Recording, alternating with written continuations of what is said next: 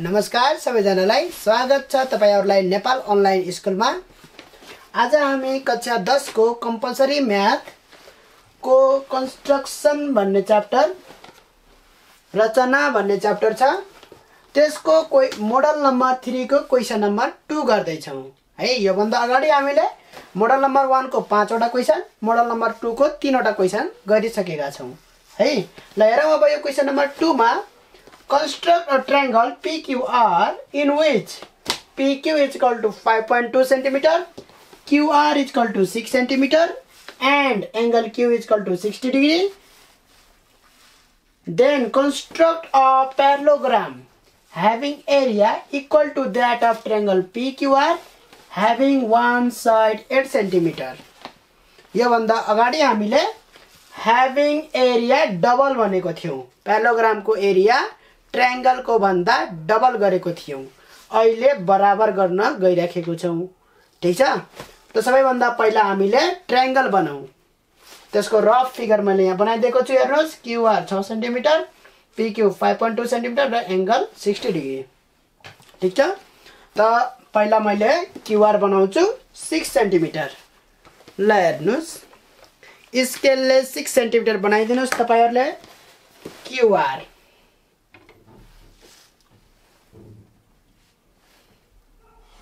ल हेर्नुहोस् six centimetre मैले क्युआर बनाएँ। हो? सिक्स सेन्टिमिटर मैले बनाइसकेँ। क्युआर अब सिक्सटी डिग्री बनाउनुहोस् क्युमा क्युमा सिक्सटी डिग्री बनाउनको लागि मैले कम्पास लिएँ हेर्नुहोस्। जति आर्कले पनि हुन्छ हेर्नुहोस्। यसरी एउटा सर्लक्क यस्तो बनाइदिनुहोस्। त्यस पछाडि यसलाई चेन्ज नगरिकन यो लेन्थलाई चेन्ज नगरिकन फर्स्ट कट भनेको हाम्रो सिक्सटी डिग्री हुन्छ हेर्नुहोस्। यहाँ फर्स्ट कट यो पोइन्टबाट फर्स्ट कट हाम्रो सिक्सटी डिग्री हुन्छ। त्यहाँबाट अब यसरी लाइन तानिदिनुहोस्। ठिक छ? ल हेर्नुहोस्।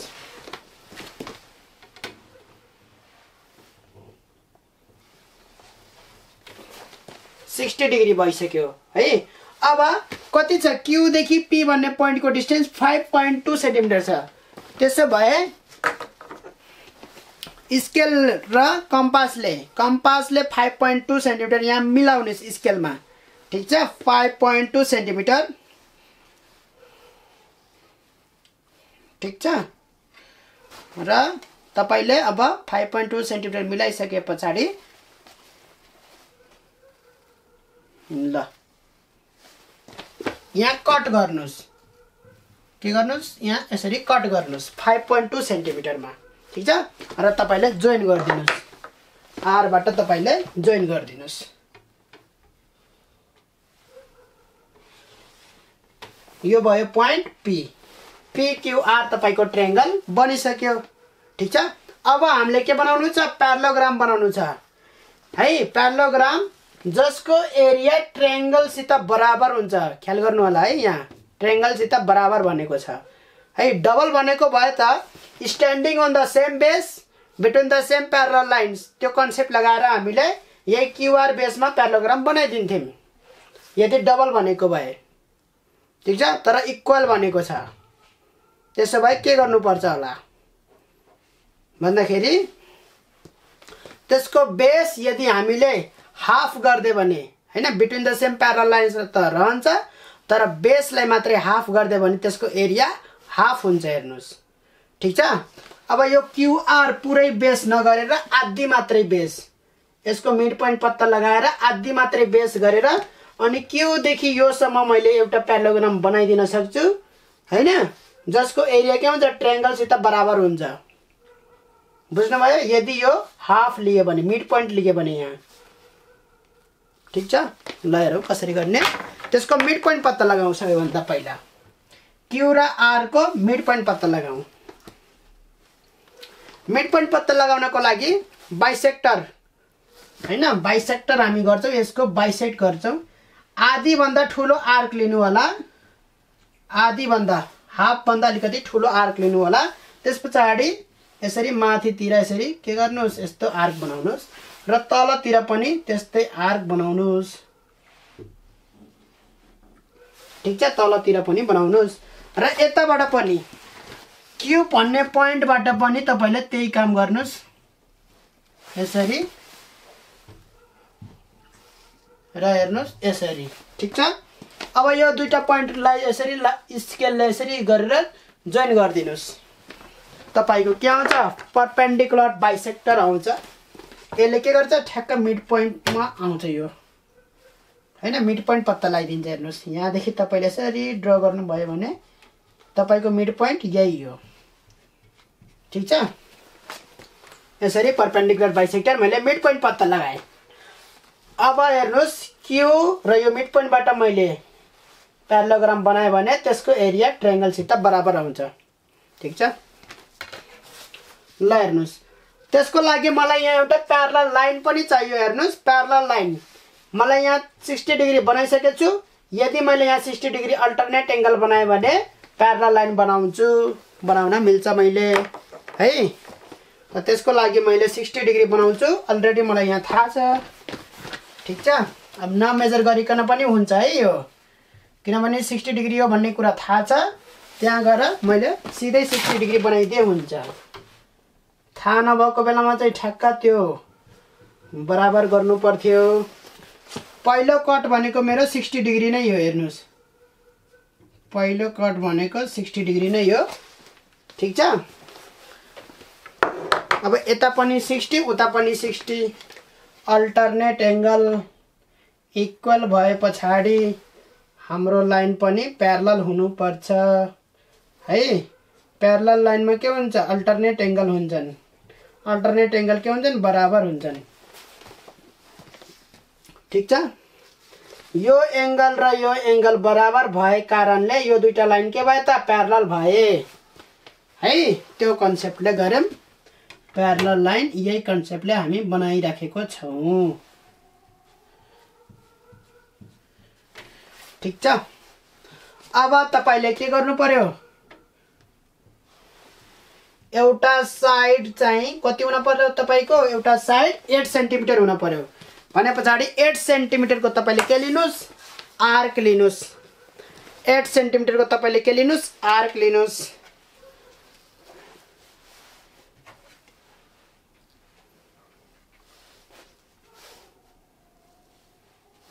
ल एट सेन्टिमिटरको आर्क लिएर तपाईँले क्यु भन्ने पोइन्टबाट के गर्नुहोस्? कट गर्नुहोस्। मैले धेरै राखिदिएँ क्या? है? धेरै उता जान्छ हेर्नुहोस् अब ठिक छ? यसलाई बरु यस्तो गरौँ सेभेन सेन्टिमिटर राखौँ। है त्यसले सायद प्रब्लम नपार्ला तपाईँहरूलाई। सेभेन सेन्टिमिटर राखौँ यसलाई। ठिक छ? अब मेरो यहाँ चित्रमै उता धेरै उता गयो यो। हेर्नुहोस् सेभेन सेन्टिमिटर यसलाई राखौँ। यो खास सेभेन सेन्टिमिटर राखौँ तपाईँहरूलाई सजिलो गराउनको लागि। सेभेन सेन्टिमिटरको म के लिन्छु?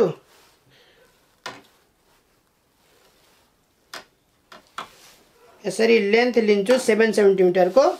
र के गर्छु भन्दाखेरि यहाँबाट कट गर्छु। ठिक छ? अलिकति थोरैमा कट भयो। ल हेर्नुहोस्। कन्भिनियन्सको लागि गरेको हेर्नुहोस्।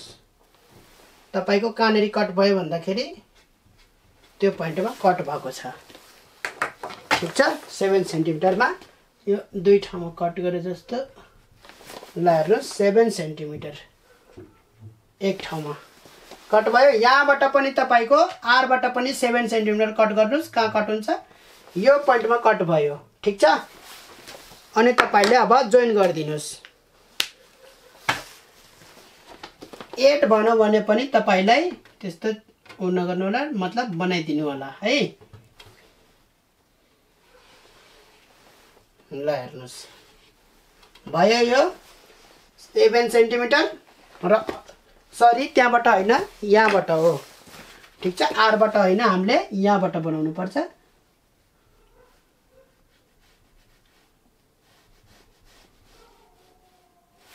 यो पोइन्टबाट बनाउनु पर्छ मिड पोइन्टबाट बनाउनु पर्छ। सेभेन सेन्टिमिटर मिड पोइन्टबाट बनाउनु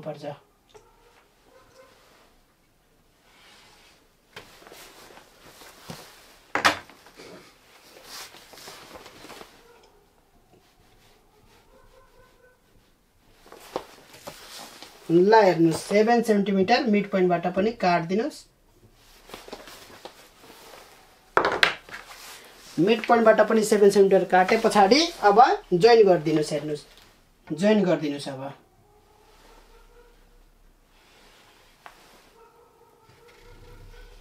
ठिक छ?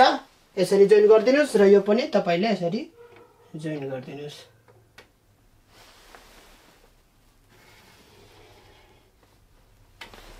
ठिक छ? र यो प्यारोग्रामको एरिया के हुन्छ त? यो ट्रायङ्गलको सँग बराबर हुन्छ। है? यदि तपाईँले आरबाटै यसरी बनाउनु भएको भए प्यारोग्राम आरबाटै यसरी बनाउनु भएको भए त्यो प्यारोग्रामको एरिया ट्रायङ्गलको भन्दा डबल हुन्थ्यो। है? किनभने standing on the same base between the same parallel lines ट्रायङ्गलको area के हुन्छ? प्यारोग्राम भन्दा आधी हुन्छ। है? त्यही भएर हामीले यसको मिड पोइन्ट निकालेर यति मात्रै लिएको छौँ ठिक छ? यो एरिया के हुन्छ त? योसँग बराबर हुन्छ। ठिक छ? ल। र यो क्वेसनमा चाहिँ मैले चाहिँ यो आफै राखेको यो सबै कुराहरू है आफै राख्नाले यो हो तपाईँहरूलाई चाहिँ ठ्याक्क मिलाएर क्वेसन आएको हुन्छ है। ल आजलाई यति नै। अर्को क्वेसन अर्को भिडियोमा गरौँला।